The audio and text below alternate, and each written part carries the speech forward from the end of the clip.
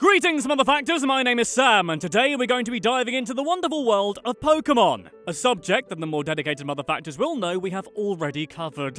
But guess what? Pokemon is an ever growing media behemoth who must be sated with regular offerings, so frankly, we're due another Pokemon video, which comes with 101 brand new facts for you to metaphorically catch. You can thank Detective Pikachu. I've been so lonely. But how did a fish manage to play Pokemon Red and Blue? Why has Kadabra not been seen in several years? And why is it okay for Ash Ketchum to catch them all, but when I do, I have to be quarantined for three weeks? It's not on. Anyway, two out of three of those questions are going to be answered, so sit down, shut up, and prepare to be facted to death with 101 facts about Pokemon.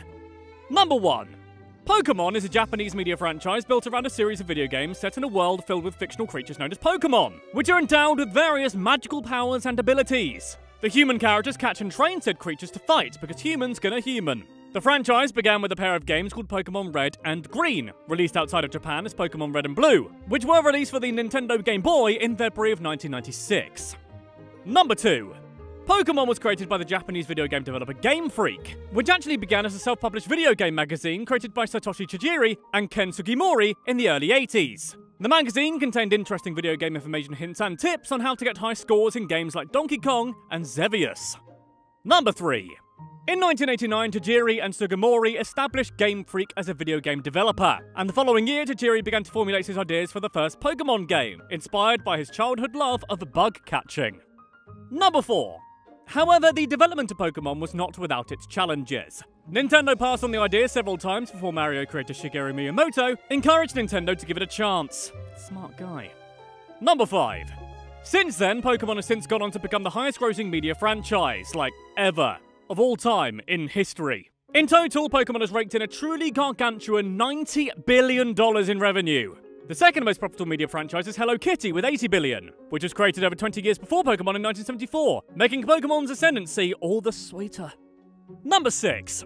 Including the main series as well as spin offs and arcade titles, there is currently a total of 122 Pokemon games, which is, I think scientifically, quite a lot. Number 7. In addition to the games, the entire Pokemon franchise now includes the long-running Pokemon anime television series and manga, the trading card game, the trading figurine game, music, books, toys, the anime film series, a wide range of other merchandise, and an upcoming live-action film which we'll talk about later on. Patience, my children, okay? God, I'm annoying. Number 8. As a result of its incredible success, Pokemon also represents the biggest selling toy brand. You know those things, you know, toys? Well, Pokemon's the biggest, baby. Number 9. The Pokemon franchise also includes the top selling trading card game with over 25.7 billion cards sold. That's enough to completely cover the entirety of the French island collectively known as Wallis and Futuna, and still have over 3 square kilometres worth of Pokemon cards left to play with. Thanks, Google. Number 10. Yeah. The hit Pokemon anime TV series has also become the most successful video game adaptation ever, with over 20 seasons and 1,000 episodes broadcast in over 120 countries, which is actually most of them. Number 11.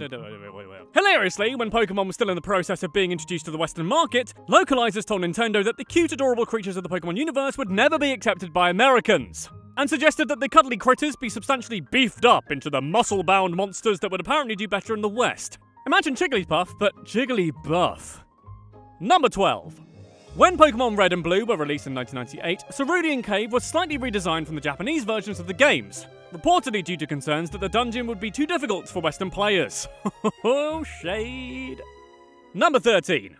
The Pokemon Snorlax was based on game designer Koji Nishino, who, according to Ken Sugimori, was known for his voracious appetite. As a result, Nishino served as the model for Snorlax's design, which I imagine is both flattering and perhaps slightly a little bit insulting. Number 14. But the tribute to Nishino doesn't end there, oh no. As Nishino was known for his habit of eating just about anything, even expired and mouldy food, ugh, his co-workers named him Kabi, the Japanese word for mould. This also served as the inspiration for the Japanese name for Snorlax, which is Kabigon. Number 15. All Pokemon fans will remember Professor Oak, the wise and respected Pokemon academic who first sent you on your adventures in the first games. What you may not know was that your character was originally going to face Oak in battle against a team of high level Pokemon, which includes a Tauros, Exeggutor, Arcanine, Gyarados, and a starter. This battle was ultimately removed, presumably because obliterating Professor's lame ass granddad team would have been too easy. Number 16. At one point in Red and Blue, a trainer called Picnicker Carol on Route 10 mentions a pink Pokemon with a floral pattern. No such Pokemon existed until the introduction of Munna in the 5th generation titles Black and White, a full four generations later. Wow, is that an Easter egg with a long payoff, or did they just forget? I think the second one. Number 17. In 2014, a programmer called Catherine Moresco created a system that tracked the movements of her pet betta fish in its bowl, which were then translated into Game Boy commands that allowed the fish to play Pokemon Red. The fish, named Grayson Hopper, wow, that's an upmarket name for a fish, spent hours walking around his room before he eventually managed to obtain the Charmander from Professor Oak and defeat his rival Squirtle. wow, suck on that, Gary. Number 18. Pokemon Gold and Silver, the main games of the second generation of Pokemon, are beloved by many as some of the best games of the entire series. It may therefore shock you to know that Gold and Silver were initially intended to be the very last Pokemon games ever, as Pokemon Company CEO Tsunekazu Ishihara believed that as the 21st century arrived, there would be little desire for Pokemon games. Oh, how wrong he was. Number 19. The Mareep line of Pokemon, which were introduced in the second generation, are a group of electric Pokemon which take the form of adorable, fluffy little sheep. Ah. Some have suggested that Mareep and its evolutions are in fact a reference to Philip K. Dick's celebrated science fiction novel, Do Androids Dream of Electric Sheep? Because they are electric sheep. The book that may I remind you also served as inspiration for the classic 1982 sci fi movie Blade Runner. Number 20. Apparently, early versions of Gold and Silver were going to include a skateboard as an alternative means of transportation to the bicycle, which is frankly boring and unrad bro in comparison. The skateboard was, however, not included in the final version of the games, because the world isn't fair and everything is meaningless. Number 21. The sister game to Gold and Silver, titled Pokemon Crystal, was the first Pokemon game in which players could choose to play as a female trainer. Wow, women? What? There were actually plans to include a playable female trainer in Red and Blue, but the feature was sadly removed. I assume because of sexism? I, I mean, I don't know. I just don't know. Number 22. Oh, oh, I've got a new song out, probably. Pokemon Crystal was also the first Pokemon game to feature animated Pokemon sprites, which could be seen upon entering battle and checking their profile. Yeah, you've got your 3D Pokemon games now, but back in the day, those animations were all we'd ever dreamed of. Number 23. The third generation of Pokemon games commenced with the arrival of Pokemon Ruby and Sapphire.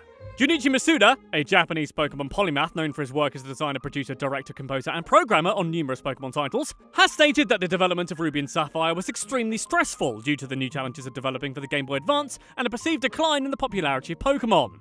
Masuda admitted he even experienced nightmares in which the game failed upon launch and even suffered stomach pain due to the stress, which required a visit to the hospital. So yeah, you're enjoying that. He really suffered for it. Number 24. Ruby and Sapphire are the only entries in the entire Pokemon series which include an appearance from the player's father as well as their mother. In the games, your father is a gym leader called Norman, whom the player must defeat in order to obtain the Balance Badge. Number 25. Ruby and Sapphire features a non playable character called Kiri, a young girl living in the very annoyingly laid out city of Sootopolis, who gives the player two berries a day upon talking to her. Junichi Masuda secretly added Kiri to the game as a tribute to his daughter, who was born just before the games were released in Japan. And I assume the daughter gives him two berries a day? It's good from such a young age, I suppose. Number 26. In Pokemon Fire Red and Leaf Green, the first remakes in the main series Pokemon games, gamblers had their title changed to gamers, as Nintendo wanted to avoid references to gambling. This is despite the fact that the Celadon City Game Corner contains playable slot machines, but for some reason was left completely intact. Number 27.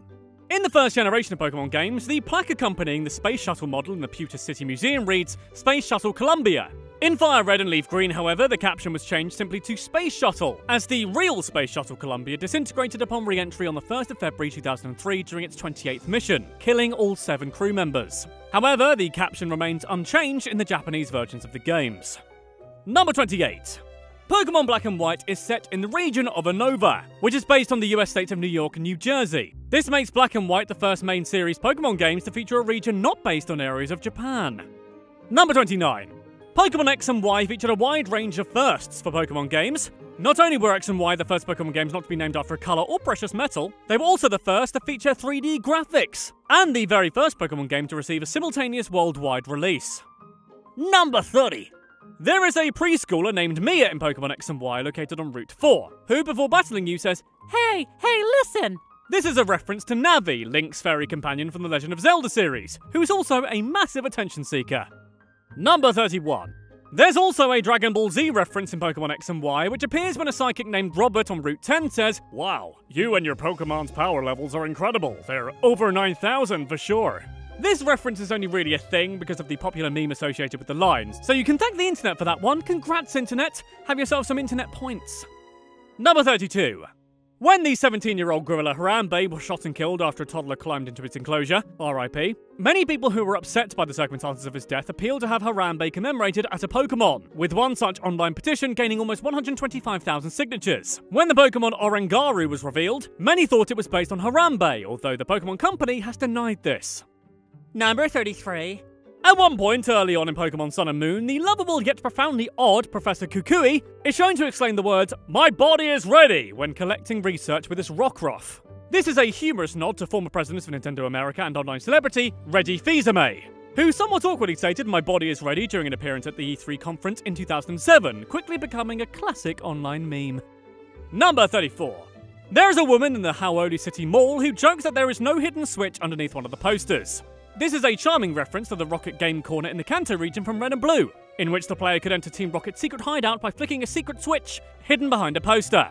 Did you catch this reference first time round, or are you a cheeky little liar? Let us know in our Pokerific YouTube poll. Number 35. When Nintendo released Pokemon Omega Ruby and Alpha Sapphire for the 3DS in 2014, IGN gave the game a fairly positive review and scored it 7.8 out of 10. However, the review also included a minor criticism that the game apparently included too much water. If that sounds hypercritical and overly pedantic, Game Freak appears to agree, and demonstrated as much by including a comment in their Pokefinder in Pokemon Sun and Moon, which reads 7.8 out of 10 too much water, followed by a very sarcastic shrugging emoticon. This guy, in fact. Number 36. Aside from the core Pokemon games, there's also a dizzying array of Pokemon spin offs to delight and enthrall you. Many early Pokemon fans will have fond memories of playing the popular spin off game Pokemon Snap, in which players engage in the leisurely pastime of Pokemon photography. Interestingly, the game wasn't planned as a Pokemon game at all, but began life as a non Pokemon game called Jack and the Beanstalk. The adorable superpowered creatures weren't added until later on in the game's development, after the first Pokemon games emerged as a surprise hit for Nintendo. Number 37. If you knock a Magikarp into the waterfall during the valley level in Pokemon Snap, it will evolve into a fearsome Gyarados, which angrily roars as it thrashes around in the cascade of water. This is actually a subtle reference to the origins of both Magikarp and Gyarados, which are based on an ancient Chinese myth. The legend states that the carp which managed to swim up a waterfall on a mythical mountain would transform into powerful dragons, as a reward for their determination and strength in the face of great adversity. Number 38. Another spin off game released during Pokemon's first generation was Hey You Pikachu, a virtual pet game developed by Ambrella Games which allowed players to utilize the Nintendo 64's voice recognition unit to speak to Pikachu. The game included a snarky little Easter egg too, whereby Pikachu would immediately become enraged and aim electric attacks at you if they said the word PlayStation into the microphone. It's what an incorrect person would say! This is actually a complete myth. It's not real at all, although Pikachu does react angrily if players call it an electric rat. I don't know, I think that sounds pretty cool. Number 39. At one point in Pokemon Colosseum, you battle an imposter called Fane, who's been running around causing mayhem disguised as the player character Wes. Before the battle, Fane says the line, You are me and I am you and we are all together here, which is a reference to a similar line from the song I'm the Walrus, released in 1967 by the Beatles. Number 40.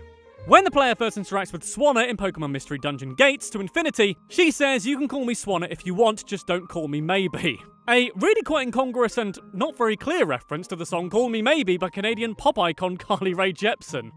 Number 41. In 2010, British graphic designer and Game Freak employee James Turner became the first Westerner to officially design Pokemon.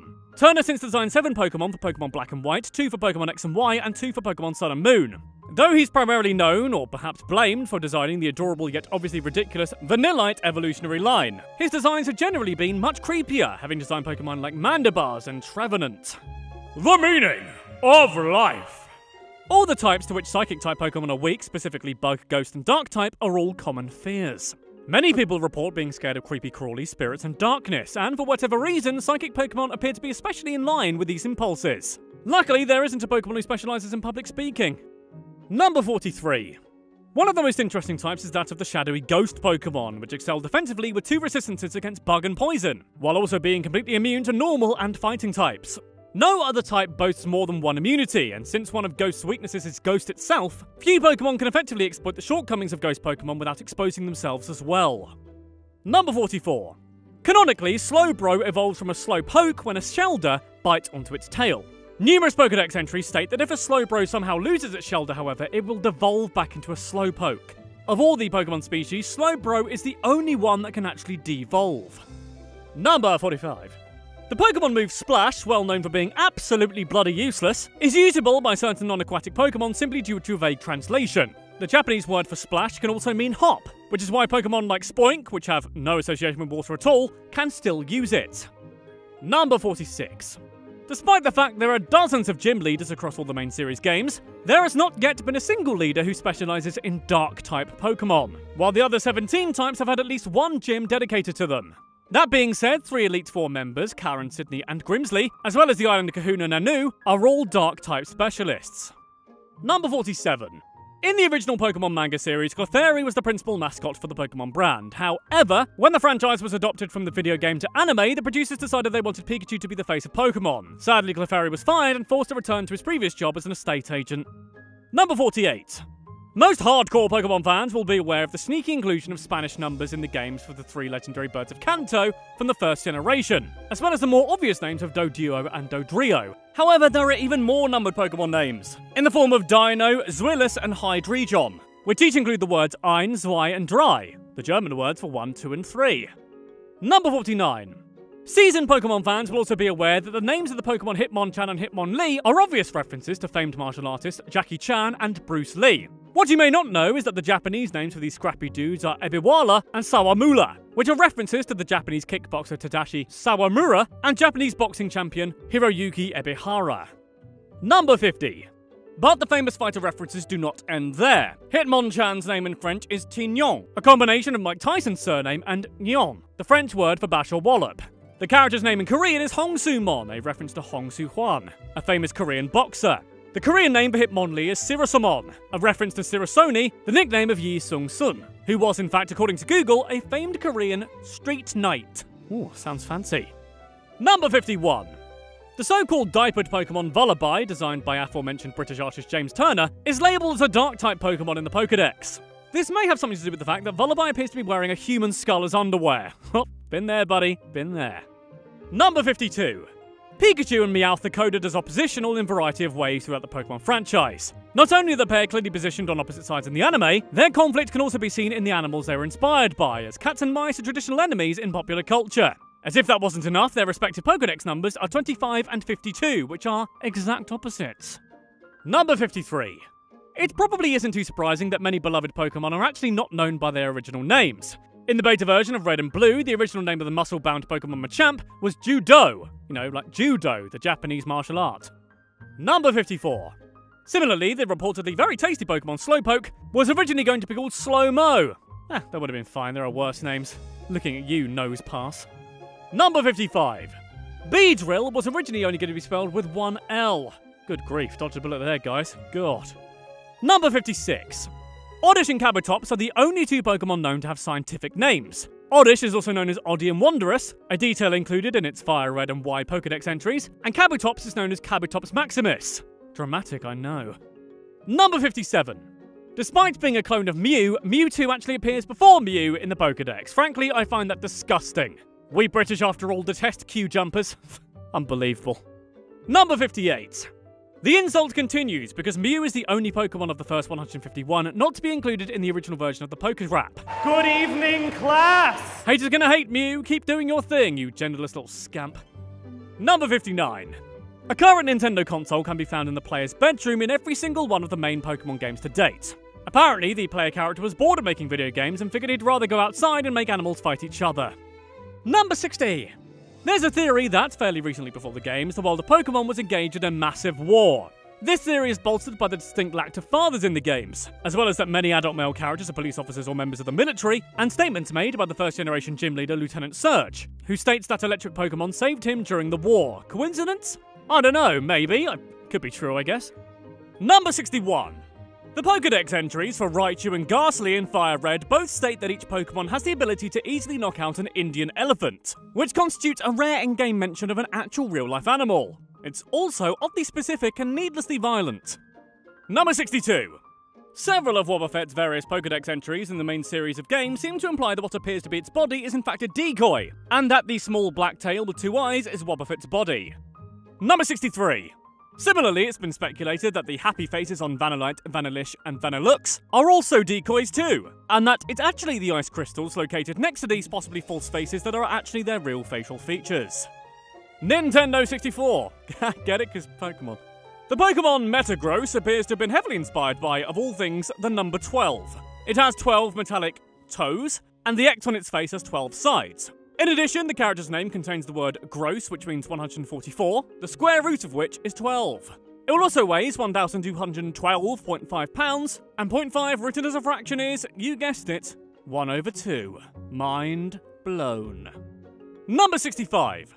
The psychic type mythical bad boy Deoxys was the first Pokemon to have its own unique battle music. She's such a drama queen. Always gotta be the center of attention.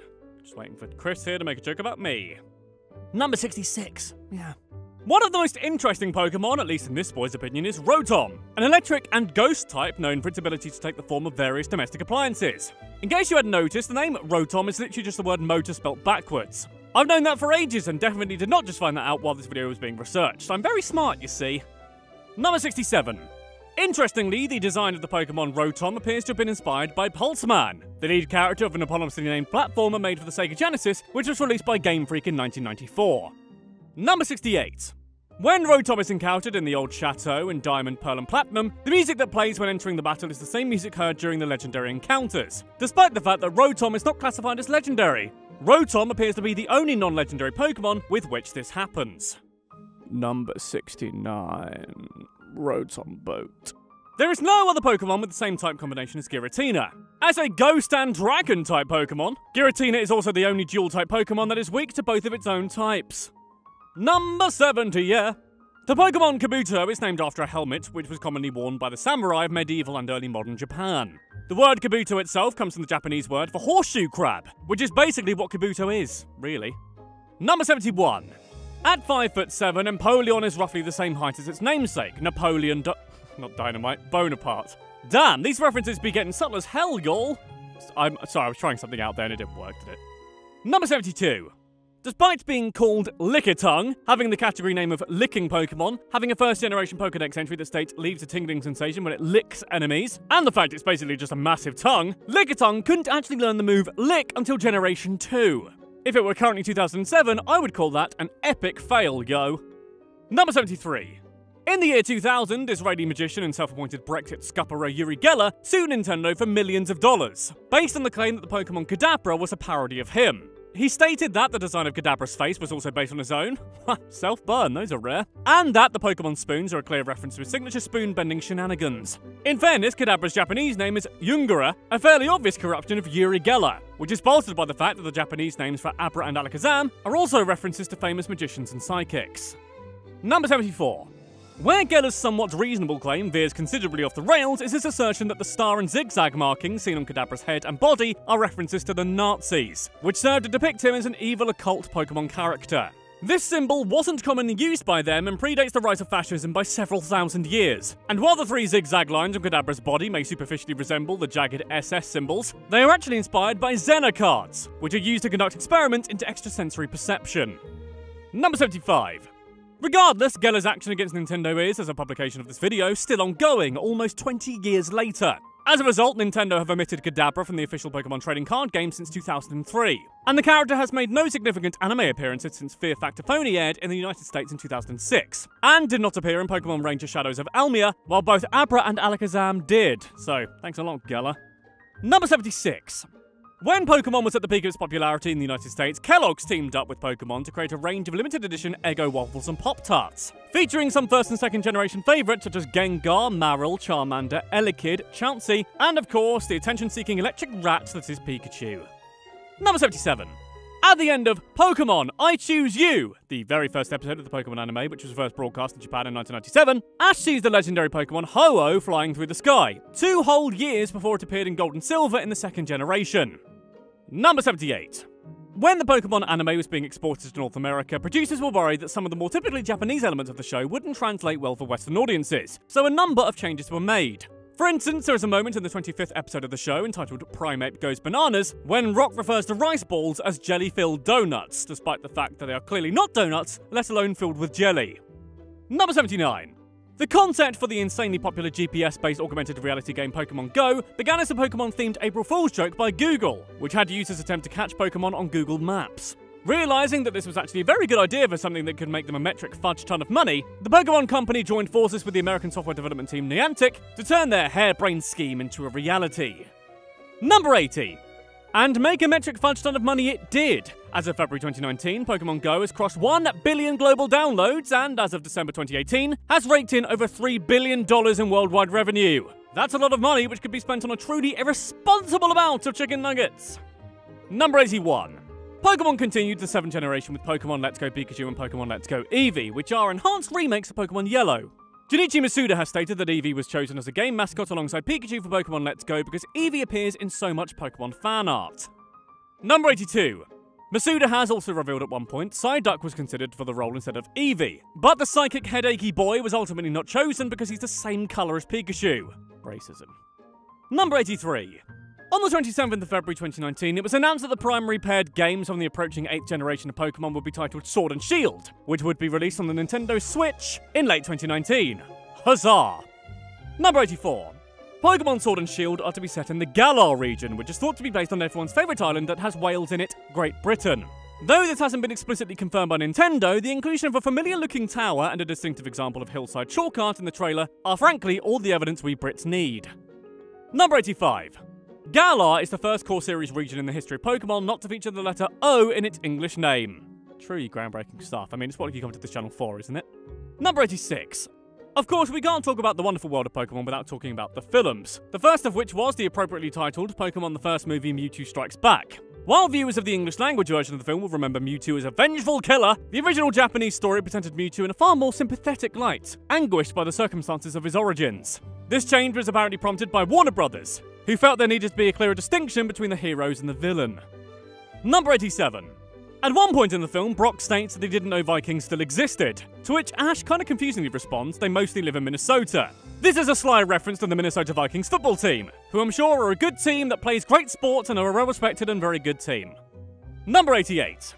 The soundtrack of Pokemon the first movie features a surprisingly star studded list of artists, including the likes of Christina Aguilera, Britney Spears, and NSYNC. The album also contains a number of classic British and Irish pop stars from the 90s too, such as B*Witched and Emma Bunton. One of the songs, entitled Making My Way, was sung by none other than Billie Piper, who Americans will remember as Rose on Doctor Who, while Brits will have slightly earlier memories of her dancing through a council estate, turning bins into T1000s and marrying Chris Evans. No, the other Chris Evans. Number 89. Of course, one of the most hotly anticipated Pokemon themed entities zooming towards us at an unstoppable pace is Pokemon Detective Pikachu, an upcoming 2019 science fiction action comedy mystery film based on the 2016 video game Detective Pikachu. Oh, yeah, there was a game called Detective Pikachu. It's overrated. Number 90. Pokemon Detective Pikachu represents a separate continuity from the mainline video games and anime series, and follows the story of Tim Goodman, a 21 year old living in the sprawling metropolis of Rhyme City who sets out to find his father, a renowned detective who has mysteriously disappeared. In pursuit of answers regarding his missing parent, Tim teams up with his father's former partner, a wisecracking Pikachu whom only he can understand. Number 91. Detective Pikachu constitutes the very first live action film in the Pokemon franchise. All the other films are anime cartoons, which has generally been the preferred medium due to Pokemon not being real. Sorry to break it to you. Number 92. The film stars the incomparable Ryan Reynolds as the voice and facial motion capture of Detective Pikachu. As if you needed more of a reason to go see this film, the title character is being played from the guy from The Proposal. Cannot wait. Number 93. As the Pikachu from the original game speaks with a deep, raspy American drawl, there was a considerable swell of public support for casting Danny DeVito in the title role. Before casting Reynolds in the role, the creative team behind the film actually tested DeVito's voice for the role, using audio from It's Always Sunny in Philadelphia for the role, in which the veteran actor for the role portrays an unkempt, amoral Slav Frank Reynolds for the role. For the role. Number 94. Still, a range of other actors were also considered for peaks, including Dwayne The Rock Johnson. What, really? Mark the Stone Wahlberg, and Hugh the Pebble Jackman. Yeah. Number 95. The character of Tim Goodman is portrayed by American actor Justice Smith. That's a, such a great name. Who was the first person to be confirmed as part of the movie. Interestingly, Smith appeared as Marcus Radar Lincoln in the 2015 comedy drama Paper Towns, in which he sang the Pokemon theme song in a scene alongside Nat Wolff and Austin Abrams. Number 96. In addition to Reynolds and Smith, which incidentally sounds like the name of a glove shop from the late 1800s, Pokemon Pikachu Detective will also star Kathryn Newton, Suki Waterhouse, Omar Chaparro, Chris Geere, Ken Watanabe, Rob Delaney, Rita Ora, why? And Bill Nighy in various live action roles. Jennifer Lawrence is notably absent, which makes me sad. Number 97. You wanna know who else is gonna be in Pokemon Pikachu Detective Detective Pikachu Pokemon Pokemon? Karan Soni. You wanna know who that guy is? He's the guy who plays Dopinder in Deadpool, which also starred the guy from The Proposal.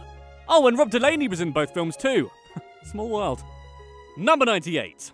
Audio for large crowd chants that be heard in the film were recorded during the 2018 Pokemon World Championships in Nashville, presumably added to capture some genuine nerd flavour. Number 99. The realistic live action depictions of the Pokemon seen in the film were based on artwork by RJ Palmer, who was discovered by the movie's production designer while he was looking for realistic Pokemon designs online. The filmmakers were so impressed by Palmer's artwork they gave him a job as a concept artist for the movie. Number 100! Gotta catch 'em all! what am I doing? Rated PG by the MPAA, Pikachu Detective is the first Pokemon film not to receive a G rating. It's to be mildly violent, guys, with some language. After all, Pikachu does say hell in the trailer. Just a heads up. What kind of fact 101 are you? Yeah. Amazingly, pre production on a sequel to Detective Pikachu Pikachu Detective is already well underway and began before the first film was even finished. The sequel is being penned by writer and producer Oren Uziel, known for his work on films like The Cloverfield Paradox and 22 Jump Street, and has also scripted the upcoming Sonic the Hedgehog film. Gotta go fast, gotta go fast. So that was 101 Facts About Pokemon Part 2. Are there any we've missed? It's a big Pokemon world after all. And who's your favourite Pokemon? I know it's an age old question, but I just want to know. Let me know in the comments down below. Go on, tap it out now, right now. Go on. Also, give this video a like and subscribe to 101 Facts if you haven't done so already, because both of those things really do help us out. You can also help by letting us know what you want to see next. In the meantime, though, oh, look at these two videos. Oh my god, what specimens they are! Why not click on one right now and see how right I am? And I'll see you next time.